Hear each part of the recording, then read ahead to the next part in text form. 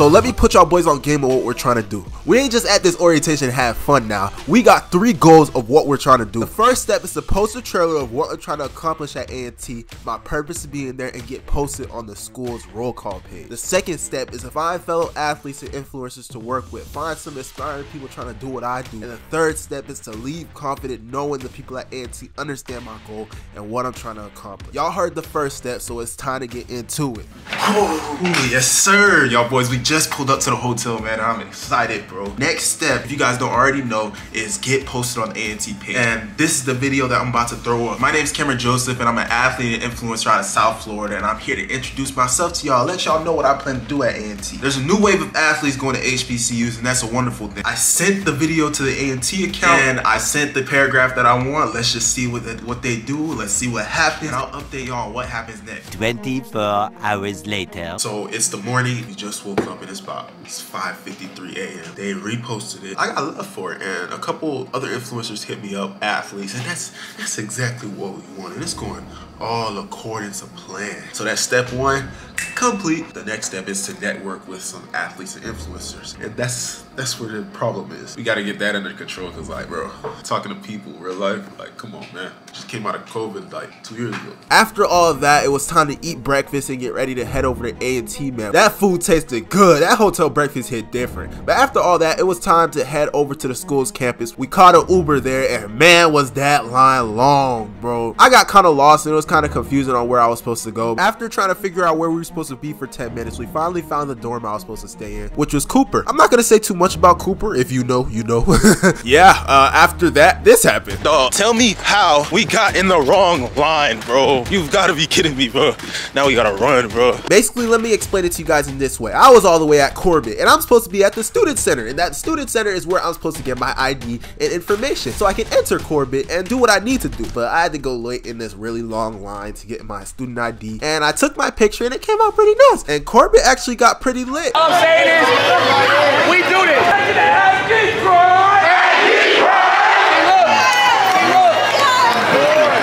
So let me explain what's going on. My school, North Carolina A&T, our mascot is an Aggies, and these people, these ASLs, are getting us hyped so that we can enjoy this orientation. Let me tell you guys, this is the biggest orientation in school history. There's 800 people here right now, and this is crazy because there's basically four orientations. That's basically like one fourth of our class. We were trying to get lit for this orientation. I'm trying to show y'all the HBCU experience in and out, man. At this point, it just gets better from here.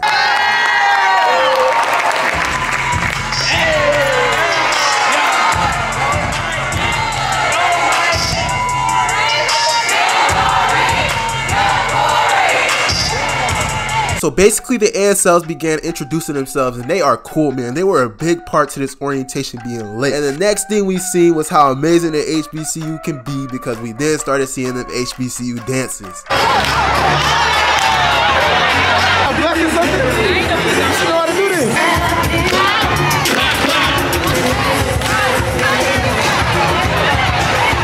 Man, them dances are so much fun. It is crazy how everybody knows them by heart. The sad part for me is I didn't do a single one of these dances. I have a confession to make to y'all. I can't dance. I literally tried. Like, I'm too stiff. I got no rhythm, and I'm, I'm hoping that HBC will fix this, man. After this, we then went through some boring stuff. They spoke to us about a couple things. We played a couple games, and then we went straight to lunch. But while we were on our way to lunch, some people wanted to get in the video, so I had to show them some love. It's not recording yet. Oh shit! You gotta say something. Oh shit, what's good? We out here NSO4, the latest one. You lock me up? Jam the shit out. Listen, y'all, when you're a football player, even a football YouTuber, there's always those people that think they can lock you up, bro. I don't know what it is, but people just love challenging you. You gonna lock me up? We gonna have to Bro, see. we got, have to see. bro, we got nine months of school, bro. We- We, we- gonna get this shit on film, bro. We gonna need to get this man We some gonna- cleats. All I, all I need is three warm ups and I'm good. That's all you need? I'm back, mm. and I'm good. And when I got to lunch, I met a group of very interesting people. You record a wall. It's nice architecture. Let me introduce y'all to Grey. This man is hilarious. While this lady was literally talking to us this entire time, this man was vlogging. He gives off very similar energy to Kai And y'all gonna see in this next clip how funny he truly is. Hey, how you doing? You showing me my YouTube video? It's a vlog. Tell me your name. No. Camera shot? Yeah. Tell me your name. I'm Tamia. Show me the fit. What you got on? Okay, okay. Alright. Have a nice day. Grey actually posted a full YouTube video like this, so if y'all want to go check out his YouTube channel, link in the description below. So I stuck around with these group of guys all the way to lunch, and once we got there, it got even funnier, bro. That girl over there is looking sad. My dog's about to get her some ice cream to make her day. All right, so let me catch y'all boys up. Basically, my boy Devo saw this girl sad sitting on the stairs by herself. He basically decided to go get her ice cream to make her day feel better. And you won't believe what happened next. How y'all boys think she gonna react? She gonna take it? She can take it oh. Already. What's up with this guy, bro? You think she gonna accept the ice cream? Hell nah. You think she gonna accept it? Hell yeah. I mean, I think she gonna accept it too. you know what I'm saying? Y'all can follow me on YouTube at J Smooth J. We do not care. So my dog Devo actually snapped. He brought her the ice cream. She got up and went with them. We thought he was successful, and then this happened.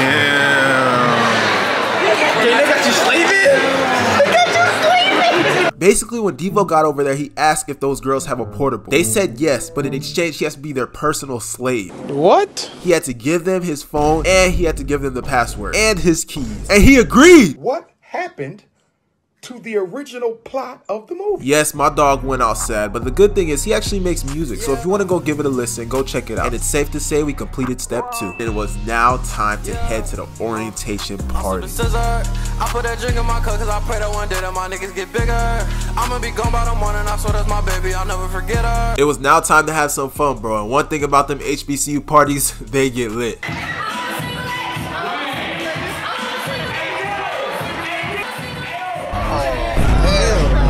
After we got settled, some very interesting things started to happen. Other boys, they not allowed to see that. this, is a family channel. This is a family channel. May I remind you guys, although we are in college, we will not display such activities. We still represent Christ around here and will keep it PG. And after those events, they had a dance battle.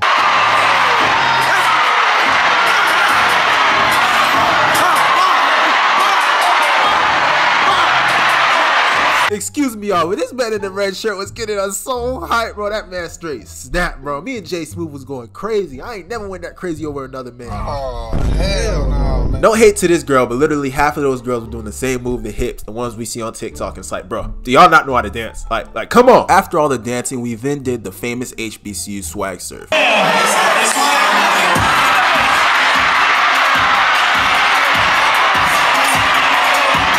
After that, the Greeks did their dance, and it was now time to head to the second party. The second party was nowhere near as much fun as the first. So after the second party, we headed back to the dorms and chilled for a bit. Gabriel, I'm texting this nigga and I'm taking it. Oh, hell no, man. After that, we then headed to bed and got ready to leave the next day.